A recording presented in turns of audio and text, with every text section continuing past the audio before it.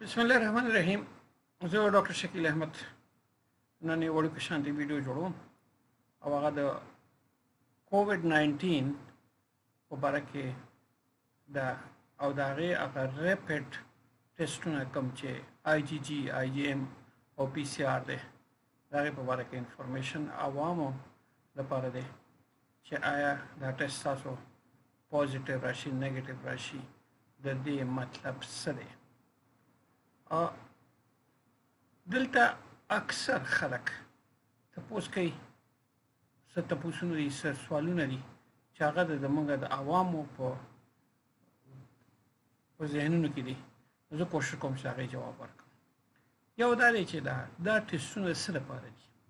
موږ څه پکې ګورو نو دا د په اړه کې جواب دا دی چې دا ریپټ ټیسټ چې کوم دي دا بیسیکلی د انټي باډیز پریزنس شو کوي چې زمونږه په وجود کې دا انټي باډي آیا جوړي شوي دي او کنه دي او دا انټي باډي چې ده مونږ ته د انفیکشن سټیټس ښيي مطلب دا چې دا موږ ټیسټونه دې لپاره کوو چې آیا دا انټي باډي شته او کنه شته نو دې نه موږ بیا انټرپریټیشن کوو چې د انفیکشن یا د کووډ 19 سټیټس څه دی دویم تاسو چې اکثر کیږي هغه دا وایي چې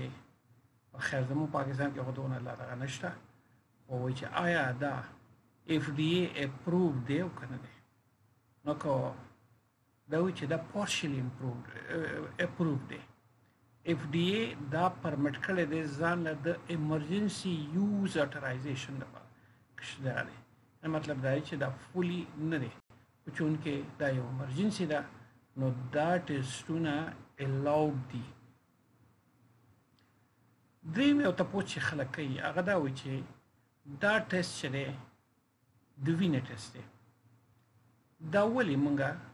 د اورل یا نیزل سواب چې په ځای کې نه مونږه سواب والو او هغه سواب چې به مونږه ټیسټ کوو دا غي په ځای استعمالي نو دې جواب دا دی چې دا ریپټ ټیسټ چې دی دا موږ ته انټي باډي په وینه کې ښي دا د وینې کمپوننټ موږ ته یعنی زموږ ایمیون ریسپانس انفیکشن ته ښي خو دا کوم چې نزل او اورل سواب دی دا بیسیکلی د وایرس هغه جینیټیک میټیریل خی د دوی دواړو فرق دا دی سلورم سوال دا دی چې آیا که دا ټیسټ زما نیگیټیو راغی د دې مطلب څه دی که د یو مریض یا د روغ کس ټیسټ نیگیټیو راغی آی جی جی آی جی ایم دواړه نیگیټیو رااله د دې مطلب څه دی نو دې جواب دا دی چې د دې مطلب دا نه دی چې تا ته مرض نشته یا تا ته کووډ 19 نه دی شوی دې کې ډاکټران اکثر نوټیسونه تجویز کی او پاغي کې تجویز کولو کې یو دی پی سی آر خود سي مریض لا چې ټیسټونه یا کس له چې ټیسټونه نیگیټیو راغلي نو دوی له پکار دي چې مخکې امغه سوشل ډیسټنسینګ وکړي امغه چې خپل لاسونه هینځي امغه چې د انفیکشن پریونشن په ریکمنډیشن باندې یا تجویزونو باندې چې کوم پبلک هیلث ډپارټمنټ تر طرف یا ډاکټر تر طرف هغه باندې مکمل عمل وکړي پنځم سوال اکثر خلک کوي هغه دا دی چې پیشنټ چې دی سمپټوماټیک دی یعنی هغه کې د کورونا هغه ساينونه الایم یا اراز یا سمپټم چې دي هغه پکې شته لکه تبه شوله ټوخی شو مرۍ خارښتېدل شو ساه لنډه لنډه کېدل او دوی کې که چېرته ټیسټ پوزیټیو راغی نو مطلب څه دی نو دا جواب دا دی چې دا های ریسک پیشنټ دی د کووډ 19 انفیکشن لپاره او دا به د ډاکټرانو ډایرکشن باندې پوره عمل کوي دوی لپاره د آیسولیشن لپاره یو تجویز داره چې دوی به اټلیس درې ورځې که د دې مریضانو کې تبه ده یا هغه سیمټمز دي چې دا تبه یې خشي هغه په څو ورځو کې خشوله دا غینه روسته درې ورځې پورې به دوی په آیسولیشن کې پاتې کیږي او یا خدا چې لس ورځې بعد دوی په آیسولیشن کې پاتې کیږي څو وخت نه چې دوی ته اول دا محسوس شوه چې زه مریض یم نو مطلب دا چې دوی لپاره ضروری خبره ده چې دوی ځان آیسولیټ کړي ا دې لپاره چې مرض خور نشي او بل خبره ده که چیرته دا امپلای او ډیفینټ امپلای به روزګار بکې نو خپل امپلایر یا خپل محکمه د خبر کی د دې په اړه کې چې دا مسله را سره شوې ده او زه درځم یا نه یو بل کوېشن چې ډېر هغه هم خلک یې ډېر تپوس کوي هغه دا دی چې آیا د انټي باډي که په پیشنټ کې موجوده ده نو دا کووډ 19 یا کورونا ته دا مریض ایمیون شو دا مرض بس د فتح کو دا مرض ختم شو د لپاره نو په دې وخت کې مونږ سره دونه مکمله ډیټا نشته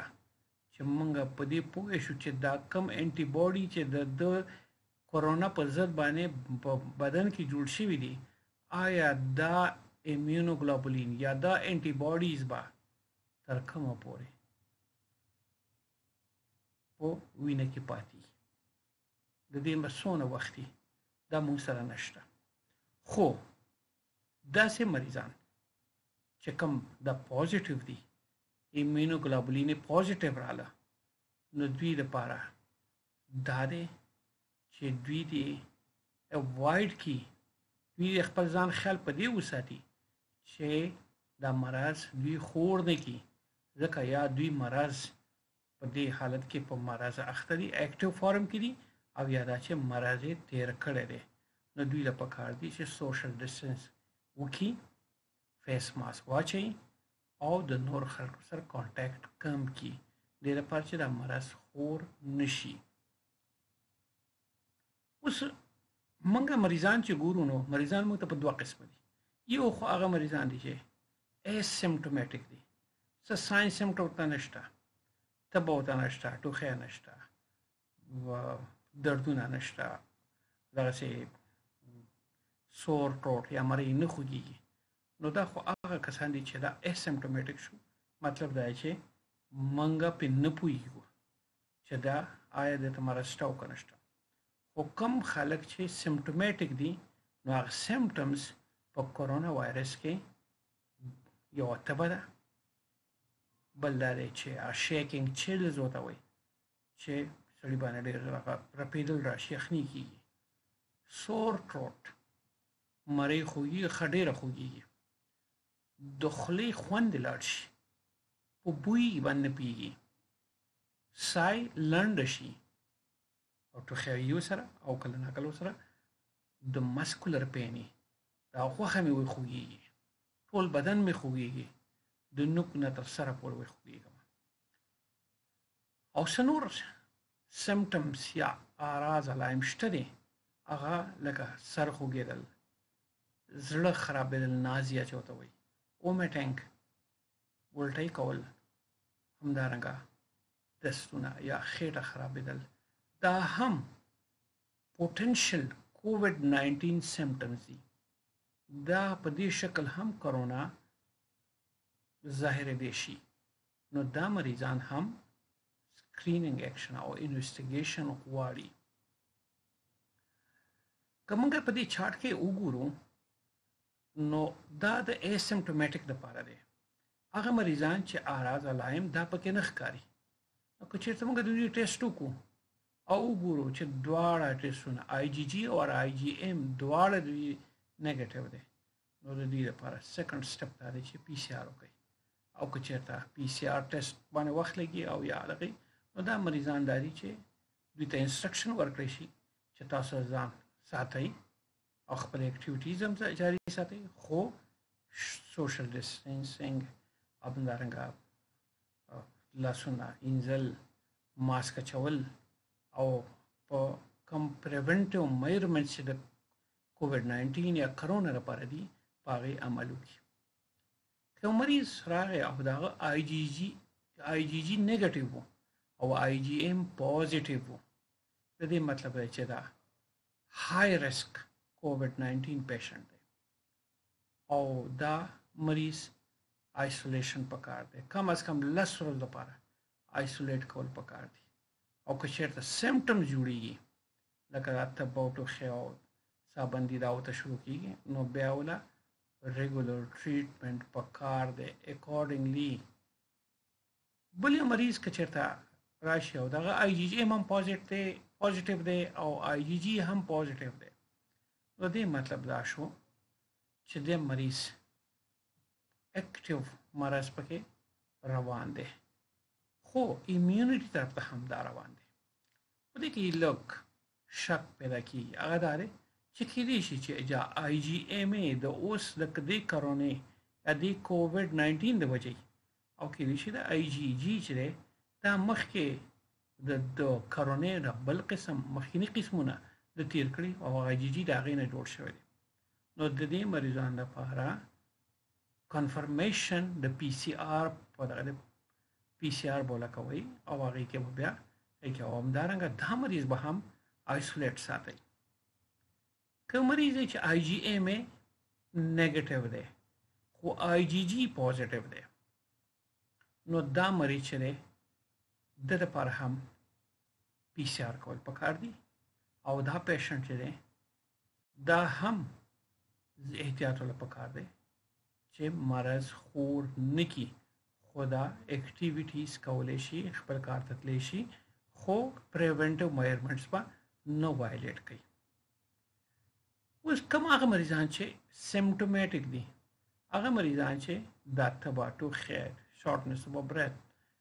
دا نور اراز علایم د کورونا دا ورته دي او د دوی ریزلټس نیگیټیو راځي نو دې سیم مریضانو ته مونږ پرسن انډر انویسټیګیشن ویو دوی د پر هم پی سی آر کو خدا مریض با چون کې سیمټوماټیک دی نو دوی له به آیسولیشن کې دغه خامخا آیسولیټ کول بغواړي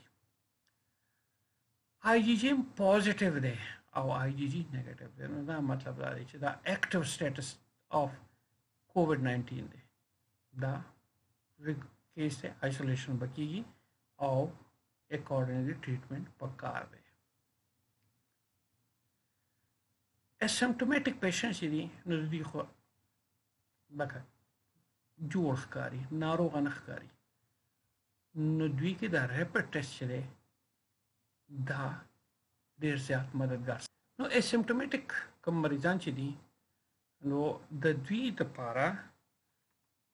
ریپټ ټیسټ چې دی دا موږ سره هیلپ کوي چې موږ ته پته ولګي چې دا سب کلینیکل یا پوسټ اکیوټ انفیکشن ته شته او کنه شته نیگیټیو ریزلټس همیشه په پی سی آر به فالو کوي او کوم هغه کسان چې پری سیمټوماټیک انډیویډوالز دي نو هغه لپاره آی جی جی ایم ریسپانس تقریبا دوه هفته لري نو ځکه مونږه د سیم مریض چې زموږ په شک دی چې دا کووډ 19 دی نو مونږ هغه آیسولیشن ته بوزو نو لس ورځې پس د آی جی جی ایم کې چې ریسپونډنټ باډي پکې جوړیږي دا په لس ورځې یا دوه هفته به اخلي نو اله به جوړیږي نو دې لپاره دا موږ کوشش کوو چې دا آیسولیټډ وساتو چې بیا موږ ته پته ولګي چې دا کم حالت ده خو نیگیټیو ریزلټس که کله آی جی ایم آی جی جی نیگیټیو رااله دې مطلب نه چې دې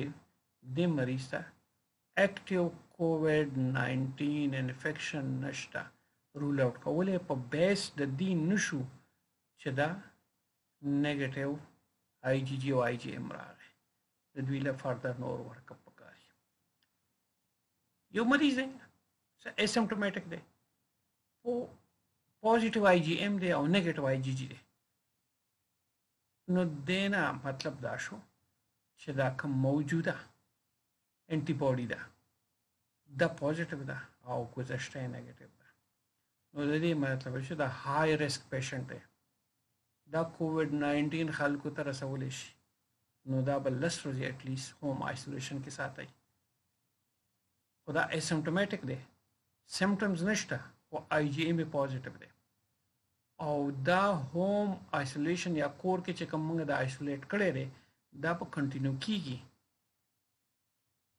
تر هغه پورې چې د مریض دا سیمټمز راشي او یا سیمټمز دغه لس دولس ورځو کې ونه شي بل یو مریض اسیمټوماټیک دی خو د هغه آی جی ایم پوزیټیو دی آی جی جی ایم پوزیټیو دی د دې مطلب دی چې دا د تا دی وخت اکیوټ یا سب اکیوټ انفیکشن دی نو د سي مریضان چې دي دا د یا خطرناک دي لکه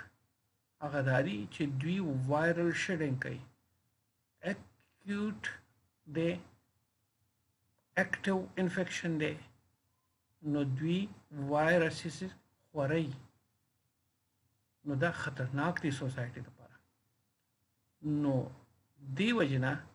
دا پکار دی چې دا هم آیسولیټ شي او ټریټمنټ شروع شي او یو خبره دلته یاد ساتئ چې په دې نړۍ کې د کرونا مخکینی ویریانټس هم تیر شوی دا کرونا د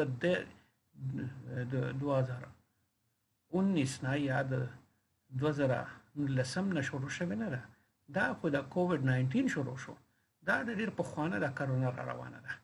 نو کیدای شي د آی جي جي چې کوم پوزټیو دی دا مخکې چې کوم هغه ته وایي سارس وایرس 2 په نوم باندې د کېدای شي د هغې د وجې نه دا آی جی جی پوزټیو راغلی او دا آی جی ایم چې دا اکیوټ یا اوسنۍ انفیکشنی نو د لپاره پی سی آر کول پکار دي او دا پیشن هم لس ورځې لپاره کم از کم کرنټاین یا آیسولیشن کول پکار دي خو کچېرته سیمټمز پکې نه جوړیږي نو پس تغینه دوی د آیسولیشن نه راوتلی شي خو احتیاطي تدابیر به ټول کوي یو بل مریض دی هغه هم اسیمټوماټیک دی اعراض علایم پکې نشته خو آی جی جی ایم ایچ دی نیگیټیو دی آی جی جی پوزټیو دی نو دا مریض مونږ ویو چې دا سب کلینیکل انفیکشن دی او مونږ دا ایزیوم کو چې دا ایمیون ریسپانس دی کووډ 19 ته مطلب دا چې د کووډ 19 د برخلاف انټي باډیز په بدن کې جوړې کړې دي خو یو ځل بیا دا خبره د کول غواړم چې مخکینی کرونا کدی مریض نه تیر کړي نو دا به موږ کنسیډر کوو چې دا د کووډ 19 لپاره د آی جی جی دی او کله په خوا بل یو تیر کړي واغې برخلاف انټي باډي جوړ شوی نو کې دې شي هغه نو دا مریضان هم پی سي آر کولو لپاره کار دي او ری انفیکشن چانس هم دی چې آی جی جی یو ځل جوړ شوی دی راغلی نو که ری انفیکشن چانسز شته دی خو ډیر کم دی اوس راځم د سیمټوماټیک پیشنټ سره ته کلم چې مریضان سیمټوماټ سیمټوماټیک شي یعنی دغه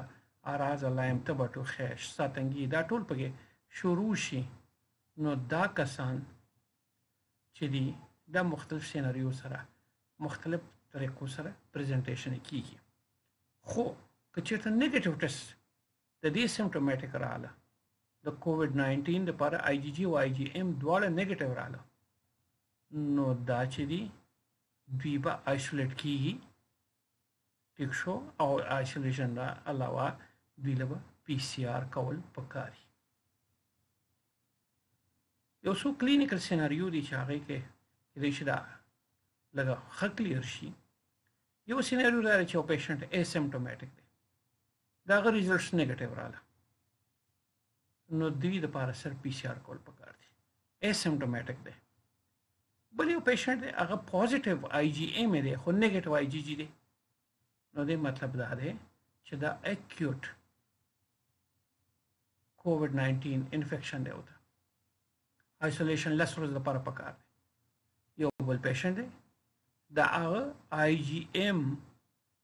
پوزټیو دی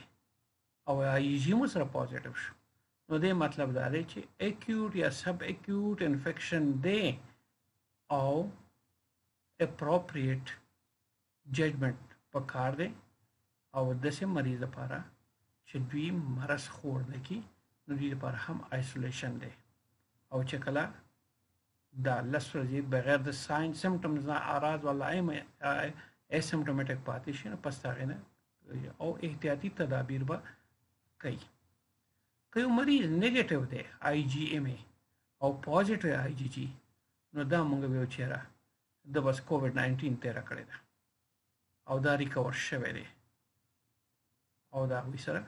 همغه احتیاطي تدابیر به کوي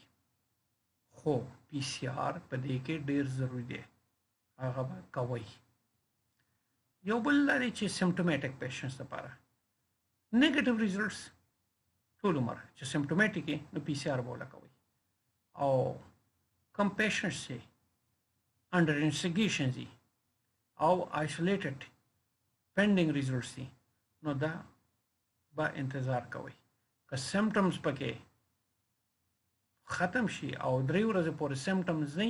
نو پس دا غینه د مریض تاسو آیسولیشن ایستې شي خو احتیاطي تدابیر سوشل ډیسټنسینګ خلکو سره ملاویدل کمول ماسک چول دا ټول به فالو کوي او د دوی مریضان لپاره دا کنفرمیشن آی جی ایم او آی جی جی چې دا کول پکار دي اوس یو بل سیناریو دا ده که چېرته یو ځای دی هلته ډېر کسان اوسېږي او ډېر کسان په دغه ځي کې سیمټمز د کرونا وایرس ښیي نو د دوی لپاره دا ریپټ ټیسټ ټول کسانو لپاره چې کوم سیمټومټیک دي هغه له کول پکار دي او دې کې د چام چې آی جی جی او آی جی ایم پوزټیو راځي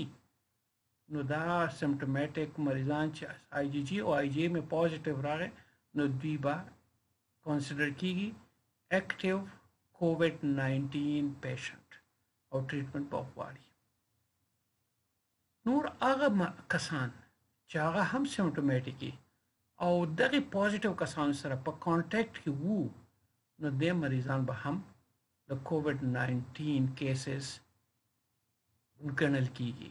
او هغوی به هم د دوی ټریټمنټ کول غواړي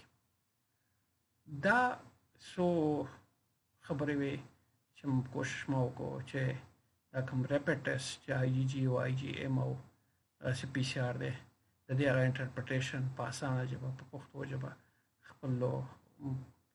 مریضان لپاره عوامو لپاره وشي او په هغې منا کو الله دې وکړي چې تاسو ته دا خبرې ګټورې ثابت شي او تاسو د دې باندې پوه شوي نو ما خپل کوشش وکړو